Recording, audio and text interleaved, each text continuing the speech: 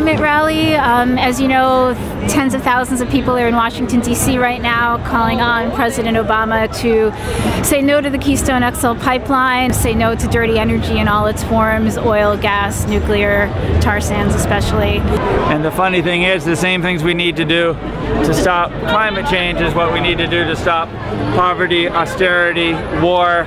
So, I don't about it, but it's an indigenous revolution, but it's for everybody because we're all indigenous to this mother upon whose belly we stand. We have to move forward on renewable energy and conservation and efficiency and green jobs and not fall for false solutions like fracking or tar sands. It was started by four women, three First Nations women and one woman of European descent up in Canada because the laws are decimating Mother Earth and treaty rights up there.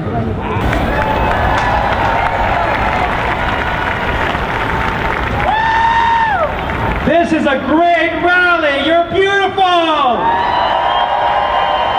So many of you here. Thank you for being here. My name is John Avalos. I'm on the Board of Supervisors of San Francisco, and I am following your lead on climate protection. şey yapsın.